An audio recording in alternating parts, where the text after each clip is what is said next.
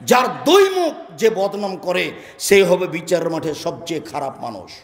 যে বদনাম করে সে হবে বিচারের মাঠে সবচেয়ে খারাপ মানুষ। এলে জি হেতে বে হাওলাই বে অঝিন এতে হাওলাই বে অঝিন। এইখানে এক কথা বলে, ওইখানে আর কথা বলে। এখানে এক মুখে আসে, এখানে আর মুখে আসে। এ হলো সবচেয়ে খারাপ মানুষ। আনাস রাজি আল্লাহ তালাহ বলেন, রসুল সাল্লাহ আলি সাল্লাম বলেছেন, মন কেন দাবা যায়নে যার মুখ হবে দুইটে।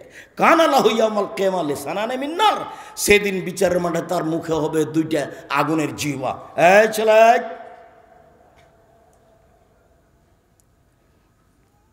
যার মুখ হবে দুইটা দুনিয়াতে, যাকে মানুষে বলে দমুখা। মানুষে কিন্তু এই ভাষা ব্যবহার করে।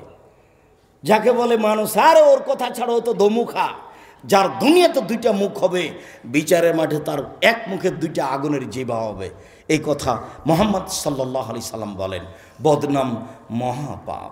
আয়েসার জিয়াল্লাহ তালা আনহা বলেন, একদা রসুলকে আমি বললাম যে, সাফিয়তা সাফিয়া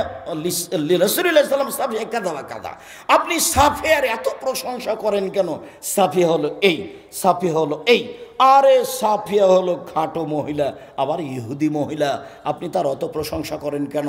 তখন আল্লাহ রসুল বলছেন আয়েসা লাকাত কুলতে কালে মাতান তুমি এমন একটা কথা বলেছ, লা ফিল বাহারে, লা মাঝে জাত তোমার কথাটা যদি সাগরে ফেলে দেওয়া হয়, তাহলে সাগরের পানি ঘোলা হয়ে যাবে।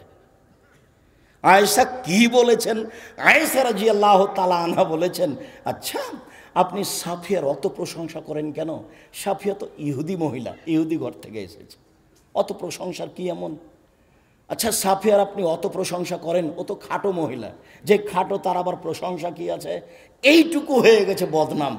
তখন আল্লাহ রসুল বলছেন, আয়েশা, তুমি এমন কথা বলেছ, এই কথা যদি সাগরে ফেলে দেওয়া হয়, সাগরের পানি ঘোলা হয়ে যাবে, সাগরের পানি ঘোলা হয়ে যাবে।